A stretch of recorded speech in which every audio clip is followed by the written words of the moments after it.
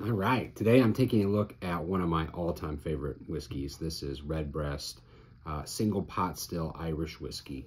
Uh, it used to be called Pure Pot Still, but now it's called Single Pot Still. And what it essentially means is that there's a portion of unmalted barley in the mash, uh, and then it's triple distilled traditionally like most Irish whiskey.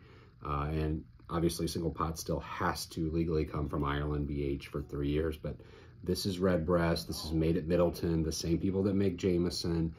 It's 12 years old, bottled at 80 proof.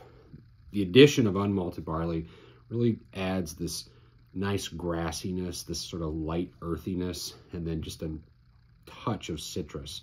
And it is an incredible whiskey. Um, I love it at 80 proof. It's so drinkable. It's so flavorful, yet so light at the same time. So you're gonna get a lot of citrus on the nose, candied orange peel, kind of a candied lemon, and then just a touch of that grassiness. Is, mm. Let's take a sip. One of the best mid palates of all time.